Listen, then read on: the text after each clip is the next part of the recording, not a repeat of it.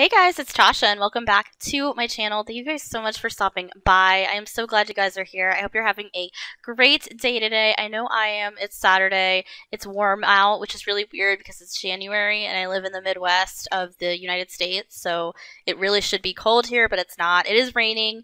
Um, so, you know, we can't have everything, but it is what it is. I'll take it over freezing cold weather.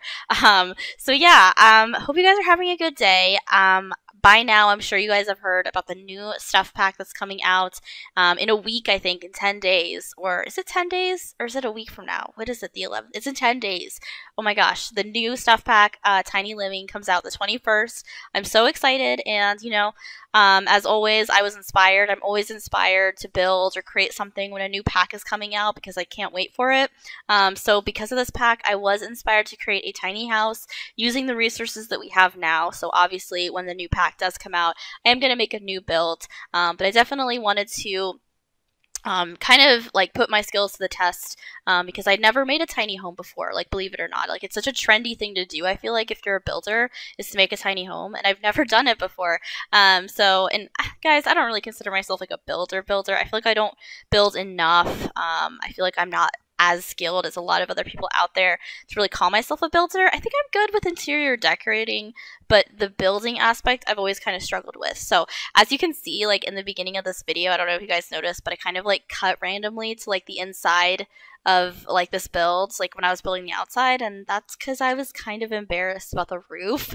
Um, so you'll see me kind of fix it later on, but yeah, I'm just I'm not really I'm not really proud of how the roof looked at the beginning of this build. I do fix it later though, so it does look decent now, but in the beginning it was a hot mess.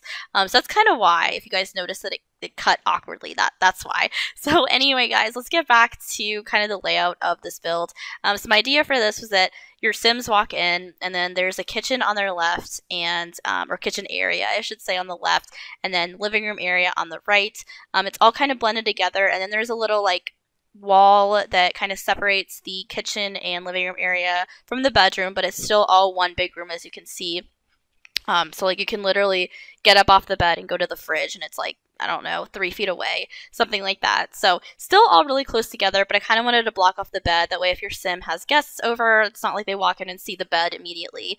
Um, so my uh, idea for this was I wanted it to be modern, uh, but also kind of like a rustic vibe. Um, so I kind of took inspiration from like a lot of like the little tiny, tiny home like TV shows or like YouTube videos that I would watch of like people like go in and they're doing like a tour of their tiny homes. Um, and so that's kind of what I was inspired by. Um, it's designed definitely for either a single sim or a couple. Um, so I do have the double bed there that's completely functional. Um, both two sims can get to the bed um, from either side, so it's not like it's up against the wall where only one sim can get in. Um, so I did design it that way on purpose so that you can have a couple living here. And other than that, I I think um, I think it turned out well. so I hope you guys think the same thing. Um, I do think I'm getting a little bit better with building, um, especially one thing that I've always struggled with is placing clutter. Um, and I think I actually did a pretty decent job of that in this build. So it's not over cluttered. Like I definitely do have some work to do as, as far as placing clutter. Um, one thing that I've always kind of told myself is that I always want the clutter to make sense. I don't want to just put a bunch of stuff everywhere just so that the home is cluttered. Um, I do want it to make sense. So that's kind of what I was going for here. Um, you'll see me kind of like add some stuff in later. Um, but I do think it, it, it flows well. And again, it's functional. That's kind of what I was mainly focusing on is that I wanted the Sims to be able to go in and be able to use everything in the house without having to turn move objects on. Um, so I think I actually succeeded in that because um, I did play test it and everything does work. They can walk in, they can cook. Um, there's enough room to cook. Um, they can sit down and eat. They can watch TV, use the restroom, go to bed, all that, all that good stuff. Um, Another thing with this build that I did want to focus on was I wanted it to have lots of natural light. So you see those tall windows in the two corners of the house there um, and the see-through doors. Um, that door is from Islands Living. It's one of my favorite doors. Uh, the sliding door in the back is what I'm talking about. I love that door so much. I think I use it in like all of my builds now. It's just, it's so pretty. Um, and then I do have a lot of stuff from Spa Day that you'll see here in a minute. So kind of Spa Day, Island Living, and then the um, what is it? The outdoor retreat? Yeah, the outdoor retreat pack. Um, there's a lot of stuff from those packs. Um, but yeah, just a lot of natural lights, um, a lot of windows, um, because I feel like they open up um, the space so that it doesn't feel like such a tiny little space. Um, and because it's set in such a pretty area. So if you guys download this from the gallery, you'll see that it's set in Granite Falls. Doesn't mean you have to place it in Granite Falls because if you do, um, it'll be a rental. You know, it won't be a home that your Sims can live in. Um, but I just I envisioned this home being in like a very woodsy kind of rural area because um, I feel like with tiny homes, it's more about like the location that they're in and less about the home itself.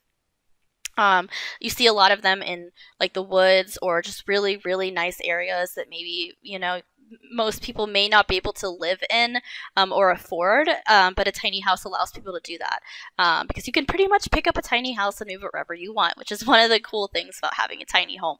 Um, so that's kind of what I was going for. So, you know, you can place this wherever you want, um, whatever neighborhood you want. Um, another thing to note is that when you download this, it'll say it's 20 by 30, and you can definitely fit this in a 20 by 15. Like, absolutely. it's only 20 by 30 because since it's set in Granite Falls, they only have 20 by 30 lots. So um, that's that's why. but yeah, definitely can places in a 20 by 15.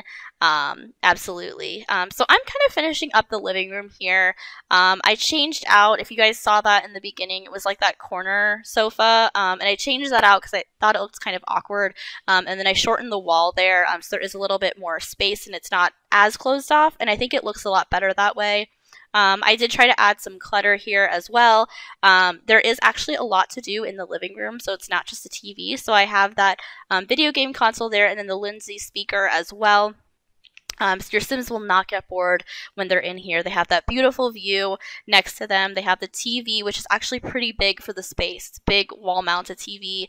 Um, they have some books, and they have um, the speaker and the um, video game console there. So yeah, they shouldn't get bored here, um, especially because I did include some outdoor activities as well. So there's a fire pit, there's a grill that they can use, um, big outdoor space that they can play in. Um, so yeah, definitely lots lots for them to do. Um, there is a dresser um, in front of the bed there, um, so they can change. There's a mirror. Um, yeah, there's a lot for them to do in this house, um, despite how tiny it is. Um, like I said, they should be able to cook meals. I'm going to add a dishwasher. I don't know if I end up adding that after this recording or not, but there is a dishwasher, so they can wash dishes.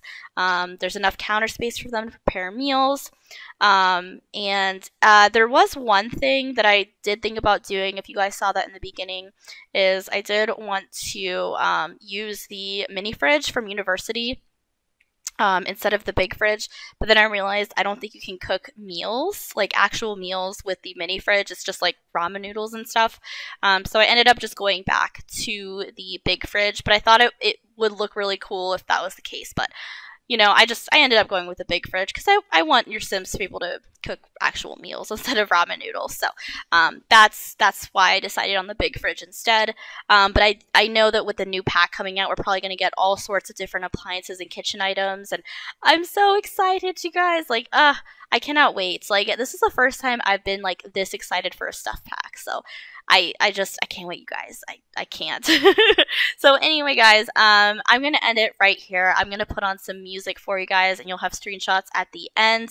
Um, I do hope you guys will download this. Um, my gallery ID is Suburban Simmer with two R's. And don't forget to like and subscribe to my channel if you liked this build. I have plenty more. And I will see you guys later. Bye.